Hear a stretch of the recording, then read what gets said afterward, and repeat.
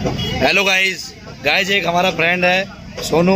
हम उसका बेवकूफ़ बना करके, उसको गुमराह कर करके उसके रेस्टोरेंट पर आए हैं और चाप का उसे मतलब लालच दिया है उसे और वो हमें चाप बनवा रहा है हमारे लिए। ये उनकी भी चाप की दुकान है और ये हमारे फ्रेंड हैं, जिनको हमने गुमराह करके बेवकूफ़ बनाया है और उन्होंने हमें ऐसी ऐसी बातें कही है। उन्होंने तड़ी में आकर के हमारे लिए ये मलाई चाप, ये देखो दिखाई भैया? ये मलाई चाप। ये मलाई चाप इन्होंने बनवा दी हमारे लिए। भैया, आप अपनी तरफ़ से खिला रहे हो ना मैं? ना। और ये इन्होंने ना कर दिया है। और ये देखो, ये दो गले हो गए हैं।